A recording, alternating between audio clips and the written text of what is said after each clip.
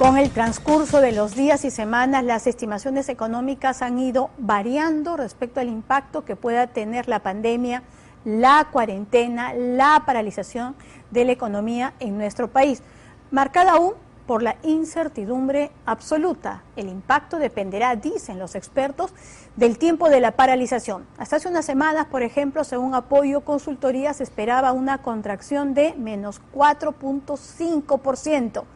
Ahora, con la ampliación de dos semanas más y considerando que pueda venir una segunda ola, esa proyección cambia a menos 8%.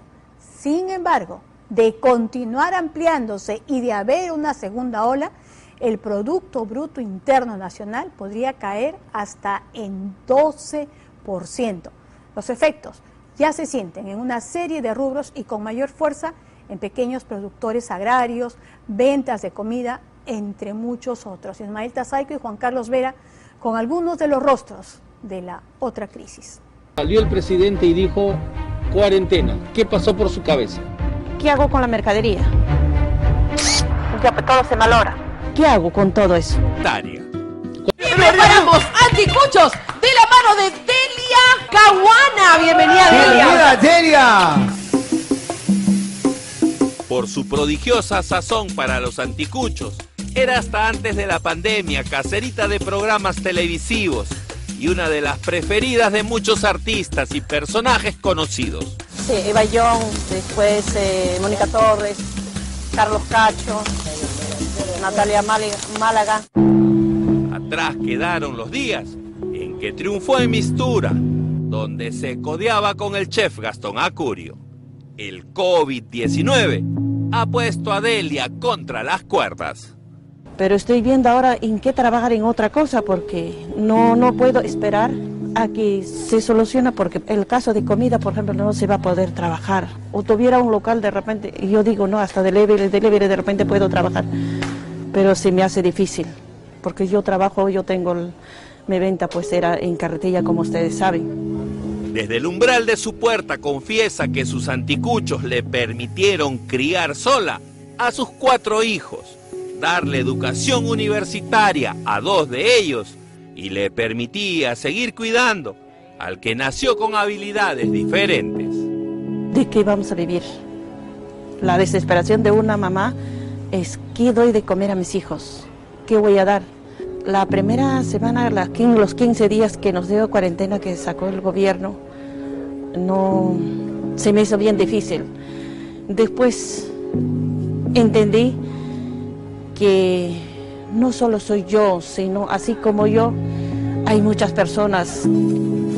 Acostumbrada a convertir vísceras en exquisiteces, Delia hace de tripas corazón. Pasa los días en estricto aislamiento con Molly, su engreída de cuatro patas, y junto al hijo que aún necesita de sus cuidados.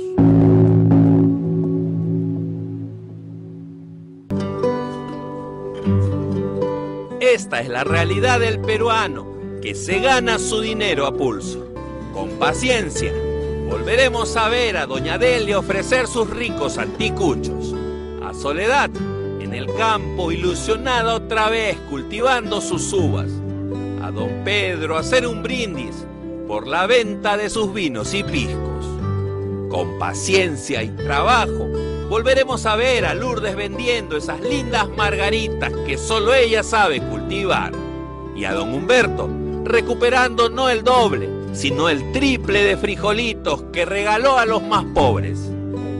Con paciencia, trabajo y mucha fuerza, queremos volver a ver llorar a chichos, pero esta vez de alegría y emoción, festejando que superamos la adversidad, que esta vez tiene forma de pandemia.